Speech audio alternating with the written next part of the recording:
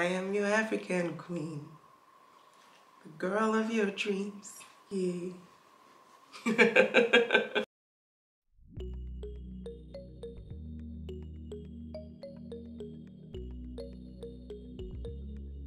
Hi everyone, welcome to the Phoebe Way. My name is Phoebe. You're most welcome. On this channel, we talk about life in Germany, you know, living here as an expat, as a black person, and all of that. Why are you asking yourself, why is this girl sitting here barefaced, well almost barefaced because my brows are done. But why is this girl sitting here and what's she going to talk about? So in two of my previous videos, I talked about my trip to Vietnam and Cambodia as a black person, as a black German. And I also talked about, in one other video, I talked about how I had the worst racist encounter in my life. And I'm here to tell you about it today. I chose now because I'm actually getting ready to film this video. So if you want to see what I'm wearing fully, wait to the end of the video. I'll show you the full outfit. But I'm going to work on IG Frank clothing. Um, the clothes she sent me, I'm about to shoot the, um, the content for that video and it's going to be about things I miss about Ghana. So if you have not yet subscribed, please do, do, do, do, so that when I post that video in the upcoming weeks, um, I don't know when it will go up, but if I post that video, you would know um, what I miss about Ghana and you see what Ghana has to offer as well, because of course I'm Ghanaian. So I, um, I was surprised because there's really not much difference between Africans and Cambodians or Asians, like especially Cambodians because the sun there is like really there. And I didn't expect to see that kind of um behind this that kind of reaction or that experience i didn't expect it at all like it had come if i'd come from the lighter skinned um, black people i would have been like okay i mean lighter skinned asians like in vietnam they're quite light like quite Caucasian with the skin tone. So I wouldn't have been surprised. And in Vietnam, it was more like people were just like glaring at me, just looking, looking, looking. Time too, they would actually be bold and they would walk up to me and say, "Oh, you have such brown, uh, beautiful brown skin, so beautiful." And um, also my other features, like my bum, people like were pointing at it. And when I went to the spa, I remember the lady was just she just kept talking about it. But that was it. So cambodia let me get to the story before i just before i finish this makeup. I've not even said anything.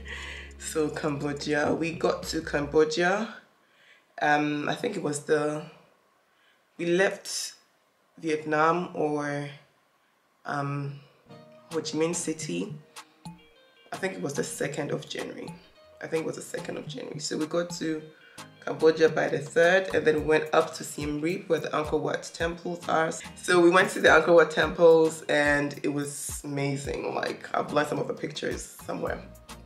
Angkor Wat was amazing balls like nothing went wrong there. And then that was Siem Reap. So that's the big city there. And then we spent some time in Siem Reap. And then after that, we went to the city, the capital of Cambodia, what's that's Phnom Penh. And there we had probably booked a, a house. I don't remember if we booked it back in Germany or we booked it when we were in Siem Reap. I think we did it in Germany. Um, yeah, I think we did it in Germany. And then um, the hostel in Siem Reap was really good. If I remember the name, I would just um, put it here somewhere he is so nice he gives you the best tips and you know he was just quite friendly and helpful so obviously we already like um pleasantly surprised because we didn't have that experience in um in Vietnam. So that was really really nice. That was really good. And I was actually loving Cambodia more than Siem Reap because we had I mean more than I was loving Cambodia more than Vietnam because we had this tuk-tuk driver and he was amazing. Like he he took us everywhere and he would tell us there's another pagoda here there's another temple there there's a rice field here there is um was another field he took us to rice and lotus I think it was Lotus. So yeah, he would take us everywhere. He took us every, basically really everywhere. And then I just need this to buffer in well because yeah, he took us everywhere. And then um, we came to Phnom and Phnom we got to Phnom at night and we were so happy that actually reserved a place, you know, because we got there and we took a bus. We took the bus, so we got there like quite late. And we're like, yes, we, at least we have um, some place to spend the night at. And it was the hostel.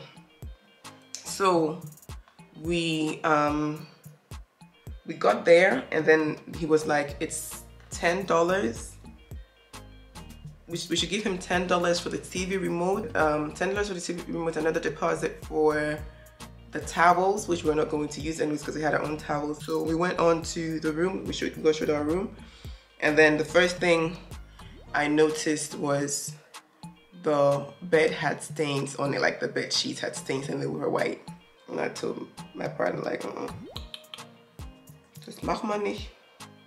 And normally I don't really care and then I asked for new ones and then it took a while, you know, he told one of the boys. And basically can think about this like as if you're in Ghana and you complain and it's not even like a real hotel where they'll be like, or hostel where they'll be like, okay, please wait. I'll have somebody attend to you whether they're in uniform or something. No, no.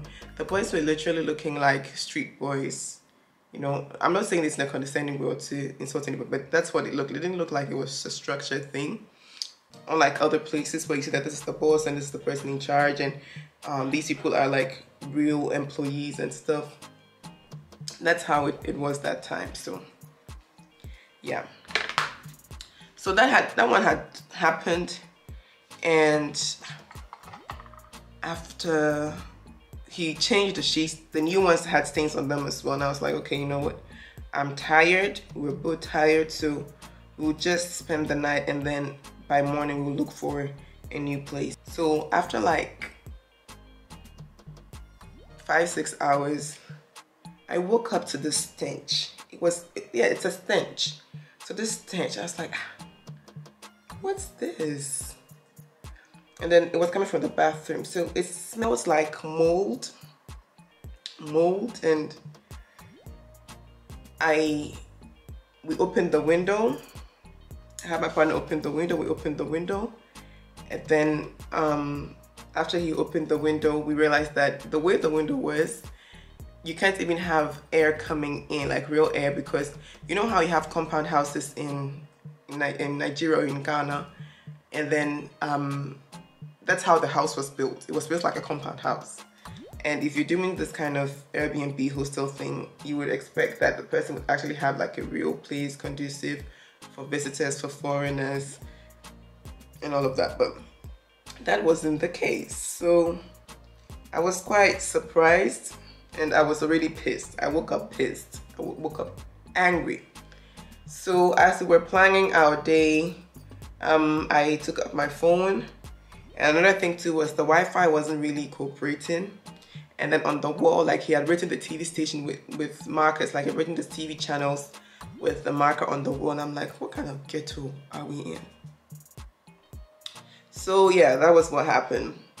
So as I was, I took out my phone checking my mails and stuff, I realized that um, Booking has sent us a mail that we hadn't shown up at the property, so they are charging us. I'm like, hold up, I am at the property and I'm actually even not happy about the state of this uh, property because the prior place that I had booked in Siem Reap, it was around the same price and it was amazing. It was good. It was, ooh, I had nothing to say about it, you know? And at this point, we had been on the road for like six days, for like a week. And we had changed, like the first time we arrived in Vietnam, we arrived in Ho Chi Minh City. Our hostel, um, we had to change because they were like, there was no room available. And then so after Siem Reap, I was actually happy in Cambodia because things seemed to be going well. So I was shocked and then I was angry again. I got even angrier, but I didn't say anything. I just sent them um, pictures that I were in the room and I'm actually not even happy, but I haven't complained because there's not much they can do at that point, by the time they actually do something, I'm gone. So what's the point? I didn't complain, right? And then I we went down to reception and I, I even told him, hey, they said we are not here. And he's like, oh, it must be a mistake somewhere. And then we asked him um, about the tuk-tuk because in our previous place in Siem Reap, the proprietor, actually arranged a tuk-tuk for us. So we were like, tuk-tuk. We went sightseeing that day. Um, our driver wasn't as nice. He was quite, um, you say greedy and he wasn't really pleasant like our first one but that's another story for another day. And then we came to have dinner like we did a boat um, cruise. It was beautiful romantic everything. We had dinner by this um, famous um, restaurant. I think if you go to Phnom Penh or if you've been to Phnom Penh you know what I'm talking about. There's this restaurant where you actually sit by like basically on the water and you're eating and it was so nice. So we come back and we say hello we go up to our rooms and it was like around 10 p.m and so we got there and then I was getting ready for bed and everything. We are both getting ready for bed. And then this, somebody just barges in. Who is it? It's the owner. Okay, let me start doing my eyes before this video gets too long. So which color are we doing? I think we'll go for something natural. H2 bus white up so. And then I was like, why would you barge and he came in taking pictures. You want to ruin my business? I'm like which business? This place is a shackle. But i didn't say that out loud though. I was just thinking like what's in the talk. Your place don't run down already like not me go ruin your business i be and then he started taking pictures and i was like in like my pajama pants and everything. I was like, you cannot take pictures of me. And then we tried blocking like the lens of the phone camera and everything. And I was like, okay, you know what? I think we need to start moving because I don't feel safe. My partner agreed. We started packing our stuff. And we, we checked around and saw that some were available. So we're like, okay, if there are other places available, we'll just go and, you know, check out what they can do for us. So that's what happened. This is now the juicy part of the story, or not juicy, but the main part. So we go downstairs and we say we are ready to go. We want, we had, I think we had booked for two, three nights. We had only spent the first night and the second night, let's say it's past 10 p.m. so you can keep the money. But the third night and my deposit, we want our money back. That's all we wanted. And he was like, he's going to have them check the room whether we have ruined something Ready. More. I said, okay, let him go and check.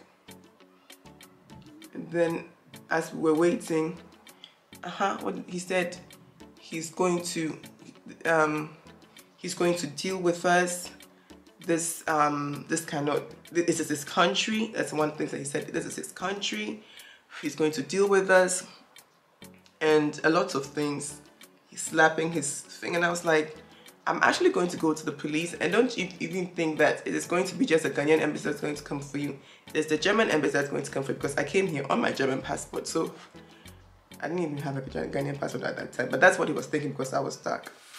And that's how we people, I'm like, what are you saying? I'll also go and report to the police and he's not going to have it easier. So because how can you just barge room and taking pictures of a half dressed woman? I'm not even going to half naked, but half dressed woman because I was wearing something, but it was like light and short because I was about to sleep and it's, you know, that place is hot. And he didn't have AC. He only had like a standing fan. Another thing, can you imagine? I was like, I'm going to report you for doing that. And secondly, for scamming us out of our money because if you had not reported that it was a no-show, they wouldn't have told me that I have to pay and I've been able to send them proof that I'm at your property. So why am I the one ruining your place? If you hadn't said anything, I wouldn't have complained. I would have just been quiet. I would have said anything whatsoever. Augusta, you know, understands. He's going to call his boys to beat us up. Was like, okay. You up. Before you beat me up, I want my $10 plus the rest. He said he was not going to give us the rest, it was just a deposit. I said, okay. give me the, my person, let me bounce. I actually said like, give me my $10, let me bounce. And then um, my partner was like, we are not here for any trouble. Just give us some money and we are leaving. Whatever you're doing the rest, fine, but give us our cash because it's not going to be fair to you. Like it's not, you're not being fair to us. And when I said I was going to call the police, he was like, you are nothing. I'm like, I'm nothing. Yes, you are nothing. Black people, you are nothing. Your skin just as dirty as your heart. Hmm. And as a woman, you're even nothing. What is a woman? This is Cambodia, this is my country. And yet he slammed his palm on the counter. I was even surprised his, his palm did not break or burst. Like for the way he just slammed his face, I mean his palm, into the counter quite loud, just to intimidate us. And you cannot intimidate me. That's the thing. Unless I don't want to fight. So he's like, he called somebody on the phone speaking their language and that's one of the reasons I, I love speaking other languages. I wish I had not understood what he had said. He was just not bluffing. So we left. After he said that, I was like, you know what? You are here with a mini temple of Buddha and whatnot, and you want him to give you peace and everything. It will not happen. Uh -huh. You don't want me to be happy. I don't want you to be happy. It will not happen. That money is not coming this 2020. Yeah, that was 2020, January 2020. So that was what happened and I booked this hostel at booking.com. In all my 20 something years on earth, nobody has actually been able to open their mouth to tell me that my skin color is dirty. Nobody has opened their mouth to tell me that my heart is as dark as my skin. and I was surprised because it just caught me off guard. Like, seriously guys when you go to cambodia the sun is quite strong there so the kids there have a tan and everything but before i went to asia i read about this colorism going on like where they don't they um they associate dark skin with um, poverty and not being good because those who work in the sun are obviously going to be those who are going to be dark and everything. But I didn't expect it to be this bad. Also because in Vietnam I hadn't experienced it. People were more like welcoming. Either they are staring or they're telling you you're beautiful or they like your skin. So I didn't really see it like that until mm, excuse me until I actually went to Cambodia right? I need this mirror. It is the best. I need this mirror for my eyeshadow. So on this one. So it's magnified yes. So the reason why I was shocked was because as I said most of the kids had a tan. Even though I had read about it I hadn't been confronted with it so I kind of forgot about the, the whole thing. And it just amazes me because he's dark himself and Hmm. why do I have to bleach for you to respect me to be honest? That's the impression I had. And that night I cried. I actually cried. I don't cry um, for anything. Yes it doesn't count that I cry when the movie is sad. That doesn't count. That is just a test for my psychological test I call it. But like it takes a lot for me to cry outside the movie theater. So um, meets me on a regular day when I'm not watching a movie and I barely will cry. People do stuff to me and I just laugh, like really. My first reaction to pain is laughter. And so for me to cry that day, it really got to me. So what happened next? How, how were we, how did we get in safety? Um, we just packed our stuff. Thank God we're just backpacking actually. So that was what actually helped.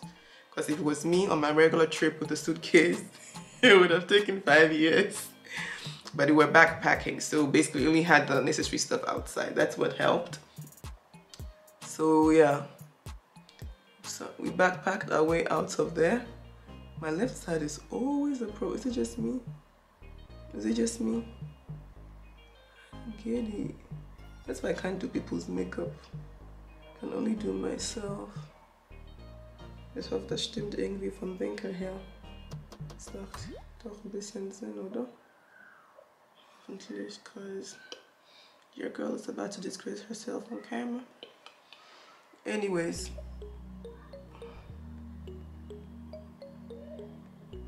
Mm -hmm. I'm gonna be quiet because my left side can be tricky. I have great respect for my left side. Okay. Listen, my geometry teacher will be proud of me because I think the angles are right. Hiya. It's Phoebe. Anyways, you have to hype yourself. Life is short. Hype yourself. Hype yourself. Ah, I'm sure you guys want to see what I'm wearing, but I'll show you. Just stay tuned. That was another guest house that was called Willkommen, like in Dutch, not in German. I was it Dutch or German? I think it was actually, no, it was in Dutch. But we got there and the owner was there herself. She was the lady. And we told her what had happened. And she was like, you know what? If you want to call the police, I will help you call the police. But that time, I didn't even know what to do. Like, my partner was like, if you want us to call the police, let's do it. But let's do it from far away because your safety. And then I initially wanted to call the police, but I was like, I don't speak the language, you know. He can say anything he wants, and before we know it, we actually been convicted in a strange land. So I don't even know the law there, like what they do and stuff. So no, nine thank you. I'm going to use my black opal, um, black opal um, foundation, and my skin is currently really going through it with the Maskne. But I love Black Opal because it doesn't feel heavy on my skin and I've been using it like ever since I started wearing makeup since I was 17. So it's been over a decade age. I'm telling people my age. It's looking orangey on camera, but it's actually my skin tone. Like seriously, this is what I've been using since I was of age, you know. Oh, forgot to add the lashes, but I'll show you guys in a bit. Uh-huh. So, yeah that's what happened. And what has has taught me is that we have to do a lot of um, education like in the black community itself that black is beautiful. Look at what happened in South Africa this week where this younger girl has been killed because she had actually stood up for herself and written on Facebook that we are all beautiful but in different ways and the bullies didn't like it. They actually planned to um, beat her up. Can you imagine? Can you actually imagine somebody's child? You want to beat her up. It's quite sad that we we are being taught that lighter is more beautiful. You have to lighten up your skin you know away from the Cambodia thing, I'm going to leave the Asians to themselves because I don't know much about them and why they are like this. The people I really want to talk to are my black Africans, my black people of African descent. Like, please, especially being an immigrant here, we are seeing a lot of this bleaching and everything going on. I understand why many people do it, but you have to know that black is beautiful enough you don't have to do anything to change it. Don't let anybody lie to you that you have to be their shade, their preferred shade before they like you or something. No. And I talked to booking.com after this. I actually posted a tweet about this issue. I actually did, and then they called me after numerous emails. And the thing is, I don't see his um, hostel listed anymore, so I guess they did take him off because you can't be running such a thing where a lot of foreigners come and you're going to be racist. Like, how do you want people to feel okay? How? Johnny. I'm glad I gave it to him. I'm really glad I did. I gave it to him. I was like, you know what? Who raised you? And also another thing too was like, you don't come in and you don't respect my privacy. And I was like, it could be your mother, your sister. Oh, that even sparked him. I shouldn't talk about his mother, sister, or daughter. I said, okay, fair enough. I don't, I even understand that. But the thing is, your mother, sister, everything, they'll be treated worse elsewhere if you treat other people's mother, sister, daughters outside like this. It is that like that's what it's it's going to be, you know. That's just what it's going to be. So yeah.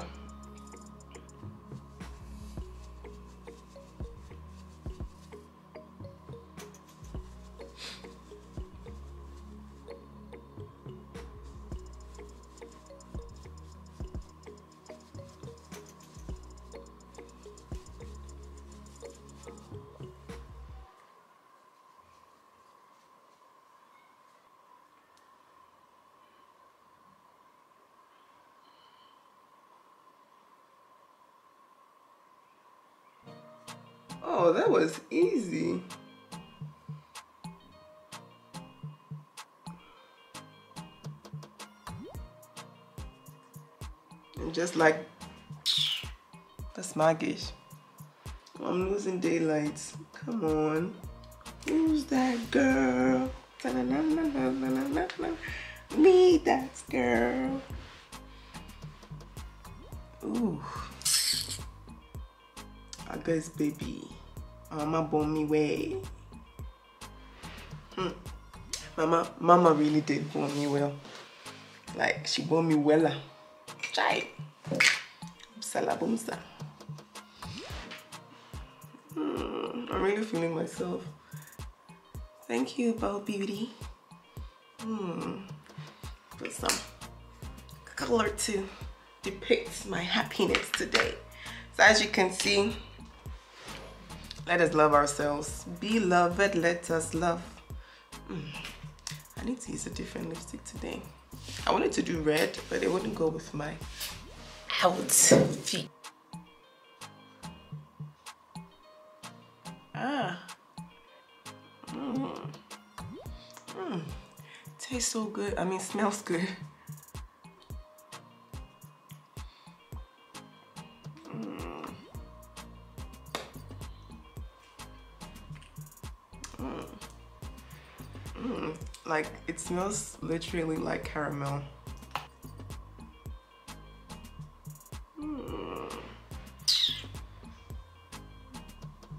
agabeni this will set it.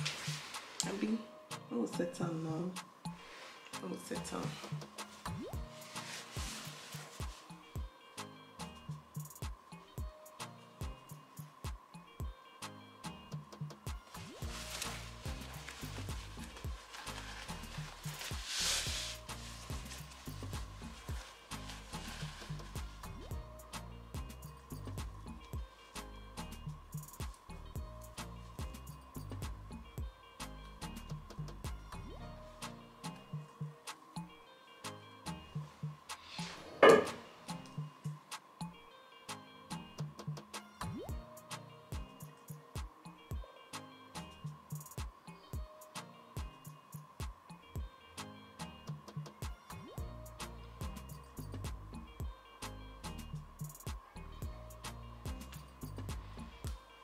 guys as you can see as I was telling you the story I was just transforming myself into an African beauty because I'm proud of my dark skin. I wouldn't give this skin for any in fact as a matter of fact let me add some shine. Let me add some shine. Let me add some shine. Let me add some look you see you see you see how it's glowing you see how the skin is glowing? Ah, this is a message out there to you. It says, embrace your skin. However it is, it's beautiful. It's made for you, okay? Only you can rock it. So rock it. So that was my story in Cambodia. But if you still want to go, confront them with your black beauty. Confront them.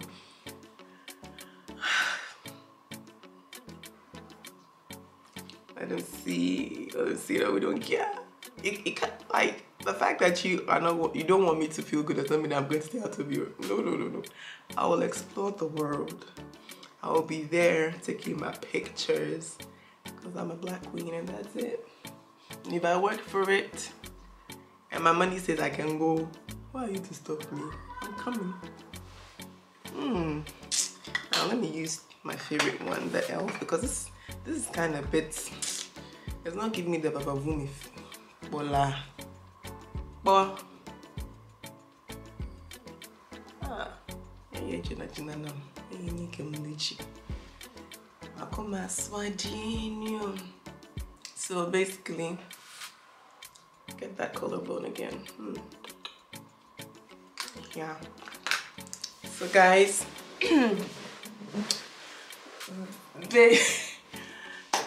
basically that is what happened. And at this point, I just want to encourage you. Don't let anybody get you down. You are beautiful. You are capable of doing anything that you set your mind to. And um, racism is everywhere.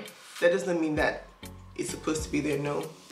But let's educate our friends, let's educate our children, let's educate our family members and let them know that it's not a good thing to do, okay? It is actually quite dumb, especially within us blacks that we say this one is lighter.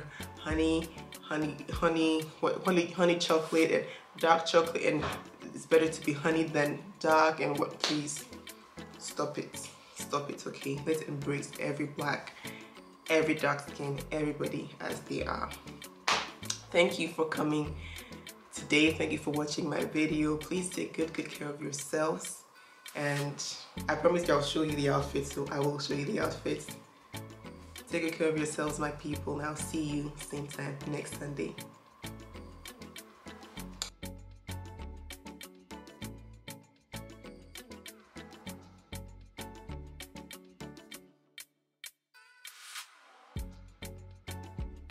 I am your African queen, the girl of your dreams, yeah.